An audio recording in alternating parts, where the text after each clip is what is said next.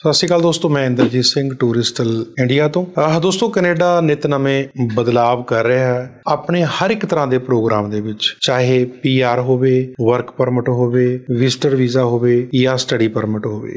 ਅੱਜ ਦੀ ਜਿਹੜੀ ਨਿਊਜ਼ ਹੈਗੀ ਹੈ ਕਿ ਕੈਨੇਡਾ ਨੇ ਐਸਡੀਐਸ ਜਿਹੜਾ ਪ੍ਰੋਗਰਾਮ ਇਹਨਾਂ ਦਾ ਸਟੂਡੈਂਟ ਦਾ ਪ੍ਰੋਗਰਾਮ ਸੀਗਾ ਸਟੂਡੈਂਟ ਡਾਇਰੈਕਟ ਸਟ੍ਰੀਮ ਪ੍ਰੋਗਰਾਮ ਉਹਨੂੰ ਕਲੋਜ਼ ਕਰ ਦਿੱਤਾ ਹੈ। ਤੇ ਕਲੋਜ਼ ਵੀ ਤੁਰੰਤ ਪ੍ਰਭਾਵ ਤੋਂ ਕਰ ਦਿੱਤਾ ਹੈ। ਯਾਨੀ ਕਿ 8 ਨਵੰਬਰ ਤੋਂ ਇਹ ਜਿਹੜਾ ਪ੍ਰੋਗਰਾਮ ਸੀਗਾ, ਸਟੂਡੈਂਟ ਡਾਇਰੈਕਟ ਸਟ੍ਰੀਮ ਐਸਡੀਐਸ ਨੂੰ ਕਲੋਜ਼ ਕਰ ਦਿੱਤਾ ਗਿਆ ਹੈਗਾ। ਦੋਸਤੋ, ਕੈਨੇਡਾ ਜਿਹੜਾ ਹੈਗਾ ਵੀ ਅਗਲੇ 4-5 ਮਹੀਨਿਆਂ ਤੱਕ ਉਮੀਦ ਹੈ ਕਿ ਇਸ ਤਰ੍ਹਾਂ ਦੇ ਹੋਰ ਅਪਡੇਟ ਜਿਹੜਾ ਹੈਗਾ ਉਹ ਕਰਦਾ ਰਹੇਗਾ। ਸੋ ਹੁਣ ਜਿਹੜਾ ਹੈਗਾ ਵੀ ਜਿਹੜੇ ਸਟੂਡੈਂਟ ਨੇ, ਕੈਨੇਡਾ ਜਾਣਾ ਚਾਹੁੰਦੇ ਨੇ ਜਾਂ ਵਰਕ ਪਰਮਿਟ ਤੇ ਨੇ ਜਾਂ ਟੂਰਿਸਟ ਵੀਜ਼ਾ ਤੇ ਨੇ, ਉਹਨਾਂ ਨੂੰ ਕੁਝ ਟਾਈਮ ਲਈ ਜਿਹੜਾ ਆਪਣਾ ਪ੍ਰੋਗਰਾਮ ਹੈਗਾ ਕੈਨੇਡਾ ਜਾਣ ਦਾ ਉਹ ਹੋਲਡ ਕਰ ਲੈਣਾ ਚਾਹੀਦਾ ਹੈਗਾ, ਕਿਉਂਕਿ ਕੋਈ ਪਤਾ ਨਹੀਂ ਕਿ ਤੁਹਾਡੀ ਫਾਈਲ ਲੱਗੀ ਹੋਈ ਹੋਵੇ ਤੇ ਅਚਾਨਕ ਕੋਈ ਜਿਹੜਾ ਮੇਜਰ ਚੇਂजेस ਹੋ ਜੇ, ਕੋਈ ਅਪਡੇਟ ਆ ਜੇ। ਸੋ ਅੱਜ ਆਪਾਂ ਜਿਸ ਚੀਜ਼ ਤੇ ਗੱਲ ਕਰਨ ਲੱਗੇ ਹੈਗੇ ਆ ਜਿਹੜਾ ਲੇਟੈਸਟ ਐਸਡੀਐਸ ਪ੍ਰੋਗਰਾਮ ਲਾਂਚ ਕੀਤਾ ਹੈ, ਜਿਹੜਾ ਬੰਦ ਕਰ ਦਿੱਤਾ ਹੈ, ਜਿਹੜਾ ਇਹਨੇ 2018 ਦੇ ਵਿੱਚ ਲਾਂਚ ਕੀਤਾ ਸੀਗਾ। ਹੁਣ ਮੈਂ ਤੁਹਾਨੂੰ ਐਸਡੀਐਸ ਬਾਰੇ ਦੱਸਦਾ ਕਿ ਐਸਡੀਐਸ ਕੀ ਹੈ। ਦੋਸਤੋ,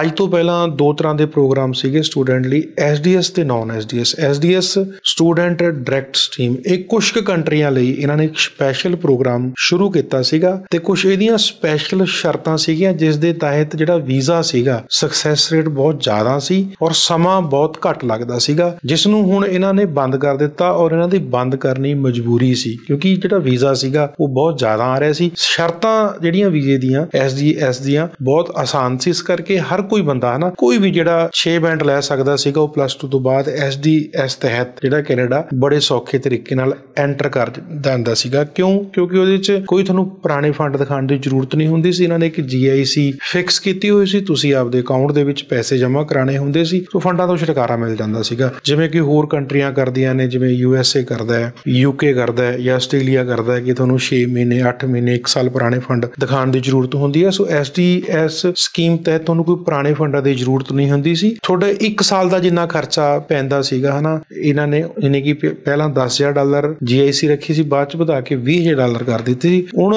ਇੱਕਦਮ ਪੈਸੇ ਪਾਣੇ ਸੌਖੇ ਹੁੰਦੇ ਨੇ ਕਿਉਂਕਿ ਹਰ ਇੱਕ ਬੰਦੇ ਕੋਲ ਪੈਸੇ ਨਹੀਂ ਹੁੰਦੇ ਫੰਡ ਦਿਖਾਉਣ ਲਈ। ਪਰ ਹਾਂ ਐਸਡੀਐਸ ਤਹਿਤ ਇਹ ਤੁਹਾਨੂੰ ਫਾਇਦਾ ਹੁੰਦਾ ਸੀਗਾ ਕਿ ਬੰਦੇ ਨੇ ਪੈਸੇ ਦਾ ਅਰੇਂਜਮੈਂਟ ਕੀਤਾ, ਆਪਦੇ ਅਕਾਊਂਟ 'ਚ ਪਾਤੇ ਚਲੋ ਜੀ, ਆਪਣਾ ਵੀਜ਼ਾ ਲੱਗ ਗਿਆ। ਦੂਜਾ, ਇਹਦੇ ਵਿੱਚ ਜਿਹੜਾ ਮੇਜਰ ਹੁਣ ਇਹਨਾਂ ਨੇ ਬਦਲਾਵ, ਜਿਹੜੀ ਨਵੀਂ ਸਟੇਟਮੈਂਟ ਆਈ ਹੈ, ਉਹਦੇ ਮੁਤਾਬਕ ਹੁਣ ਸਟੂਡੈਂਟ ਨੂੰ ਵੀ ਪੀਸੀ ਕਰਾਉਣ ਦੀ ਲੋੜ ਪਏਗੀ, ਯਾਨੀ ਕਿ ਪੁਲਿਸ ਵੈਰੀਫਿਕੇਸ਼ਨ ਕਿਉਂ? ਕਿਉਂਕਿ ਜਿਵੇਂ ਜਿਵੇਂ ਹੁਣ ਹਾਲਾਤ ਕੈਨੇਡਾ ਦੇ ਬੰਦੇ ਜਾ ਰਹੇ ਨੇ, ਹਨਾ, ਉਸ ਦੇ ਮੁਤਾਬਕ ਕੈਨੇਡੀਅਨ ਗਵਰਨਮੈਂਟ ਵੀ ਆਪਣੇ ਜਿਹੜੇ ਪੁਰਾਣੇ ਰੂਲ ਨੇ, ਉਹਨਾਂ ਦੇ ਵਿੱਚ ਚੇਂजेस ਕਰ ਰਹੀ ਹੈ ਤਾਂ ਕਿ ਉਹਨਾਂ ਨੂੰ ਫਿਊਚਰ ਦੇ ਵਿੱਚ ਕਿਸੇ ਵੀ ਚੀਜ਼ ਦੀ ਕੋਈ ਪ੍ਰੋਬਲਮ ਜਿਹੜੀ ਹੈਗੀ ਹੈ ਫੇਸ ਨਾ ਕਰਨੀ ਪਵੇ। ਪਿਛਲੇ ਕੁਝ ਸਮੇਂ ਦੇ ਵਿੱਚ ਇਸ ਤਰ੍ਹਾਂ ਦੇ ਅਨਸਰ ਕੈਨੇਡਾ ਪਹੁੰਚ ਚੁੱਕੇ ਨੇ, ਜਿਨ੍ਹਾਂ ਦਾ ਬੈਕਗ੍ਰਾਉਂਡ ਕ੍ਰਿਮੀਨਲ ਸੀਗਾ, ਜਿਹੜੇ ਉੱਥੇ ਜਾ ਕੇ ਵੀ ਹੜਦੰਗ ਮਚਾਉਂਦੇ ਨੇ। ਹੁਣ ਤੁਸੀਂ ਉੱਥੇ ਦੇਖਿਆ ਕਿ ਇਸ ਟਾਈਮ ਜਿਹੜਾ ਕ੍ਰਾਈਮ ਰੇਟ ਹੈ ਕੈਨੇਡਾ ਦਾ ਬਹੁਤ ਜ਼ਿਆਦਾ ਵੱਧ ਗਿਆ ਹੈ। ਸੋ ਇਸ ਕਰਕੇ ਇਹਨਾਂ ਨੇ ਸਟੂਡੈਂਟ ਲਈ ਵੀ ਜਿਹੜੀ ਪੁਲਿਸ ਵੈਰੀਫਿਕੇਸ਼ਨ ਹੈ, ਪੁਲਿਸ ਕਲੀਅਰੈਂਸ ਹੈ ਪੀਸੀ ਹੈ, ਉਹ ਜ਼ਰੂਰੀ ਕਰ ਦਿੱਤੀ ਹੈਗੀ ਹੈ। ਸੋ ਹੁਣ ਜਿਨ੍ਹਾਂ ਦਾ ਕੋਈ ਵੀ ਬੈਕਗ੍ਰਾਉਂਡ ਕ੍ਰਿਮੀਨਲ ਸੀ, ਉਹ ਕੈਨੇਡਾ ਨਹੀਂ ਜਾ ਸਕਣਗੇ। ਔਰ ਤੀਜਾ ਇਹ ਹੈ ਕਿ ਹੁਣ ਫੰਡ ਦਿਖਾਣੇ ਲਾਜ਼ਮੀ ਹੋ ਜਾਣਗੇ, ਹਨਾ? ਫੰਡਾਂ ਪਹਿਲਾਂ ਕੀ ਹੁੰਦਾ ਸੀਗਾ ਕਿ ਜੀਆਈਸੀ ਭਰੀ, ਤੁਸੀਂ ਆਪਦੀ ਫਾਈਲ ਲਾਈ ਤੇ ਤੁਸੀਂ ਜਾ ਸਕਦੇ ਸੀਗੇ। ਪਰ ਆਉਣ ਵਾਲੇ ਟਾਈਮ ਦੇ ਵਿੱਚ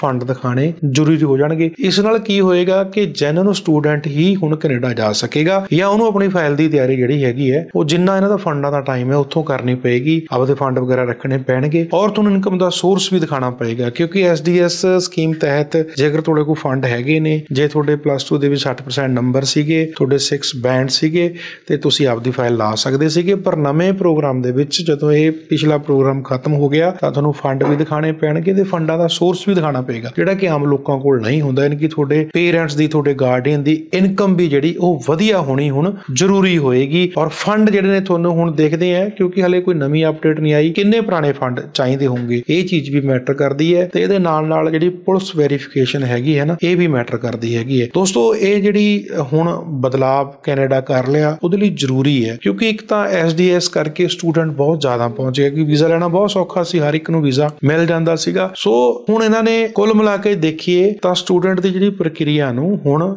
ਜਿਹੜਾ ਹੈਗਾ ਥੋੜਾ ਜਿਹਾ ਟਾਈਟ ਕਰ ਦਿੱਤਾ ਹੈ, ਤਾਂ ਕਿ ਜਦੋਂ ਸਟੂਡੈਂਟ ਇਸ ਪ੍ਰਕਿਰਿਆ ਦੇ ਵਿੱਚੋਂ ਨਿਕਲੇਗਾ ਸੋ ਘੱਟ ਨਿਕਲਣਗੇ। ਹਰ ਕੋਈ ਬੰਦਾ ਇਹ ਚੀਜ਼ ਹੁਣ ਜਿਹੜੀ ਪੂਰੀ ਨਹੀਂ ਕਰ ਪਾਏਗਾ, ਕਿਉਂਕਿ ਹਰ ਇੱਕ ਦੇ ਬਸ ਦੀ ਗੱਲ ਨਹੀਂ, ਫੰਡ ਦਿਖਾਣਾ ਦਿਖਾਣੇ ਜਿਵੇਂ ਪੁਲਿਸ ਵੈਰੀਫਿਕੇਸ਼ਨ ਲੈਣੀ ਜਾਂ ਫੰਡਾਂ ਦਾ ਸੋਰਸ ਪੈਦਾ ਕਰਨਾ, ਉਹ ਹਰ ਇੱਕ ਬੱਚੇ ਦੇ ਬਸ ਦੀ ਗੱਲ ਨਹੀਂ ਹੋਏਗੀ। ਸੋ ਇਸ ਕਰਕੇ ਹੁਣ ਜਿਹੜਾ ਪ੍ਰੋਸੈਸ ਹੈ, ਇੱਕ ਤਾਂ ਪ੍ਰੋਸੈਸ ਸਲੋ ਹੋਏਗਾ, ਜਿਵੇਂ ਪਹਿਲਾਂ ਟਾਈਮਲੀ ਵੀਜ਼ਾ ਆ ਜਾ ਕਰਦਾ ਸੀਗਾ, ਹੁਣ ਜਿਹੜਾ ਪ੍ਰੋਸੈਸ ਸਲੋ ਹੋ ਜਾਏਗਾ, ਤੇ ਤੁਹਾਨੂੰ ਫੰਡ ਵਗੈਰਾ ਪ੍ਰੋਪਰ ਦਿਖਾਣੇ ਪੈਣਗੇ ਔਰ ਤੁਹਾਨੂੰ ਪੁਲਿਸ ਵੈਰੀਫਿਕੇਸ਼ਨ ਤੇ ਹੋਰ ਵੀ ਇਹਦੇ ਵਿੱਚ ਕਈ ਚੀਜ਼ਾਂ ਹੋਣਗੀਆਂ, ਜਿਹੜੀਆਂ ਯਾਨੀ ਕਿ ਜਿਹੜੀ ਨੂੰ ਪ੍ਰਕਿਰਿਆ ਨੂੰ ਸਲੋ ਤੇ ਗੁੰਝਲਦਾਰ ਬਣਾ ਦਿੱਤਾ ਗਿਆ। ਮਕਸਦ ਇਹ ਕੀ ਹੈ ਕਿ ਸਟੂਡੈਂਟ ਘਟਣ। ਹਾਂ, ਜਿਹੜੇ ਜੈਨੂਨ ਸਟੂਡੈਂਟ ਨੇ ਹਨਾ, ਉਹਨਾਂ ਦਾ ਇਹ ਜ਼ਰੂਰ ਲਿਖਿਆ ਗਿਆ ਹੈਗਾ ਕਿ ਕੈਨੇਡਾ ਹਮੇਸ਼ਾ ਜਿਹੜਾ ਹੈਗਾ, ਉਹ ਸਟੂਡੈਂਟ ਦਾ ਵੈਲਕਮ ਕਰਦਾ ਰਹੇਗਾ। ਸਟੂਡੈਂਟ ਨੂੰ ਜ਼ਰੂਰ ਓਬਲਾਈਜ਼ ਕਰਦਾ ਰਹੇਗਾ ਬਟ ਜਿਹੜੇ ਹੁਣ ਜੈਨੂਨ ਸਟੂਡੈਂਟ ਹੋਣਗੇ, ਉਹੀ ਜਾਣਗੇ। ਸੋ ਕਹਿਣ ਦਾ ਭਾਵ ਇਹ ਹੈ ਕਿ ਕੈਨੇਡਾ ਹੁਣ ਨਿਤ ਨਵੇਂ ਜਿਹੜੇ ਬਦਲਾਵ ਨੇ, ਉਹ ਲੈ ਕੇ ਆ ਰਿਹਾ। ਹੁਣ ਤੁਸੀਂ ਪਿੱਛੇ ਦੇਖਿਆ ਸੀ ਕਿ ਇਹਨਾਂ ਦੇ ਪੀਆਰ ਦੇ ਨੰਬਰਾਂ 'ਚ ਵੀ ਕਟੌਤੀ ਕੀਤੀ ਸੀ। ਫਿਰ ਇਹਨਾਂ ਨੇ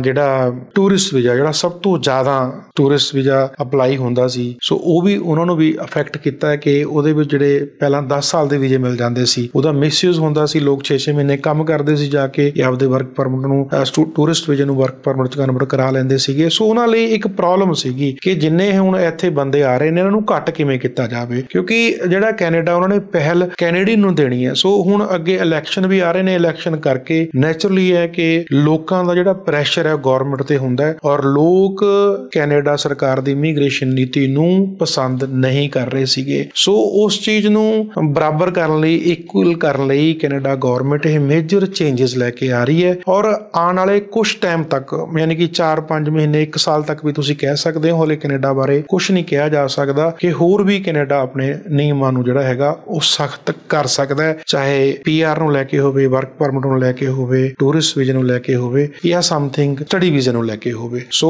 ਹੁਣ ਜਿਹੜਾ ਹੈਗਾ, ਜਿੰਨੇ ਵੀ ਸਟੂਡੈਂਟ ਹੁਣ ਬਾਹਰ ਜਾਣ ਦੇ ਚਾਹਵਾਨ ਨੇ, ਉਹ ਜੇ ਕੈਨੇਡਾ ਜਾਣਾ ਚਾਹੁੰਦੇ ਨੇ ਕੈਨੇਡਾ ਦੇ ਨਾਲ ਨਾਲ ਕਿਸੇ ਹੋਰ ਕੰਟਰੀ ਨੂੰ ਵੀ ਫੋਕਸ ਕਰ ਸਕਦੇ ਆ ਕਿਉਂਕਿ ਆਉਣ ਵਾਲਾ ਟਾਈਮ ਜਿਹੜਾ ਹੈਗਾ ਕੈਨੇਡਾ ਲਈ ਥੋੜਾ ਜਿਹਾ ਹਾਰਡ ਹੈ। ਔਰ ਵੈਸੇ ਵੀ ਉੱਥੇ ਕੀ ਹੈ ਕਿ ਹੁਣ ਜਿਹੜੀ ਬੇਰੋਜ਼ਗਾਰੀ ਦੀ ਦਰ ਹੈ, ਉਹ ਬਹੁਤ ਵੱਧ ਗਈ ਹੈ। ਤੁਸੀਂ ਕਿਸੇ ਨੂੰ ਵੀ ਕਾਲ ਕਰਕੇ ਪੁੱਛੋਗੇ ਸਟੂਡੈਂਟਸ ਇਹੀ ਕਹਿੰਦੇ ਨੇ ਕਿ ਇੱਥੇ ਕੰਮ ਨਹੀਂ ਹੈ। ਜਿਹੜੇ ਪੁਰਾਣੇ ਸੈਟਲ ਹੈਗੇ ਨੇ ਬੰਦੇ, ਹਨਾ, ਜਿਹੜੇ ਪੁਰਾਣੇ ਸਟੂਡੈਂਟ ਗਏ ਨੇ, ਉਹਨਾਂ ਕੋਲ ਹੀ ਕੰਮ ਹੈ। ਨਵੇਂ ਸਟੂਡੈਂਟਸ ਨੂੰ ਕੰਮ ਮਿਲਣਾ ਜਿਹੜਾ ਹੈਗਾ, ਉਹ ਬਹੁਤ ਔਖਾ ਕਿਉਂਕਿ ਇੱਕ ਹੱਦ ਤੋਂ ਜ਼ਿਆਦਾ ਹਰ ਇੱਕ ਜਿਹੜਾ ਬੰਦਾ ਉੱਥੇ, ਹਰ ਇੱਕ ਤਰ੍ਹਾਂ ਦਾ ਬੰਦਾ ਪਹੁੰਚ ਚੁੱਕਿਆ, ਚਾਹੇ ਉਹ ਸਟੂਡੈਂਟ ਹੋਵੇ, ਚਾਹੇ ਉਹ ਵਰਕ ਪਰਮਿਟ ਵਾਲਾ ਹੋਵੇ, ਚਾਹੇ ਟੂਰਿਸਟ ਹੋਵੇ, ਕਿਉਂਕਿ ਟੂਰਿਸਟ ਤੋਂ ਜਾ ਕੇ ਬੰਦੇ ਵਰਕ ਪਰਮਿਟ ਕਰਦੇ ਨੇ। ਸੋ ਇਹਨਾਂ ਸਾਰੀਆਂ ਚੀਜ਼ਾਂ ਕਰਕੇ ਕੈਨੇਡਾ ਗਵਰਨਮੈਂਟ ਨੂੰ ਬਹੁਤ ਪ੍ਰੈਸ਼ਰ ਝੱਲਣਾ ਪੈ ਰਿਹਾ ਸੀ ਔਰ ਉਹਨੂੰ ਜਿਹੜੇ ਬੇਰੁਜ਼ਗਾਰੀ ਦਾ ਸਾਹਮਣਾ ਕਰਨਾ ਪੈ ਰਿਹਾ ਸੀਗਾ। ਸੋ ਇਹਨਾਂ ਚੀਜ਼ਾਂ ਨੂੰ ਲੈ ਕੇ ਹੀ ਕੈਨੇਡਾ ਨੇ ਨਵੇਂ ਚੇਂਜਸ ਕੀਤੇ ਨੇ। ਸੋ ਜਿਹੜੀ ਲੇਟੈਸਟ ਨਿਊਜ਼ ਹੈਗੀ, ਜਿਸ ਤੇ ਆਪਾਂ ਅੱਜ ਗੱਲ ਕਰ ਰਹੇ ਹਾਂ, ਉਹ ਹੈ ਕਿ ਕੈਨੇਡਾ ਨੇ ਫਿਲਹਾਲ ਤੁਰੰਤ ਪ੍ਰਭਾਵ ਤੋਂ ਜਿਹੜਾ ਐਸਡੀਐਸ ਪ੍ਰੋਗਰਾਮ ਸੀ ਸਟੂਡੈਂਟ ਡਾਇਰੈਕਟ ਸਟ੍ਰੀਮ ਨੂੰ ਬੰਦ ਕਰ ਦਿੱਤਾ ਗਿਆ ਹੈਗਾ। ਫਰਦਰ ਇਹਦੇ ਬਾਰੇ ਕੀ ਅਪਡੇਟ ਆਂਦੀ ਹੈ, ਉਹਦੇ ਬਾਰੇ ਅਸੀਂ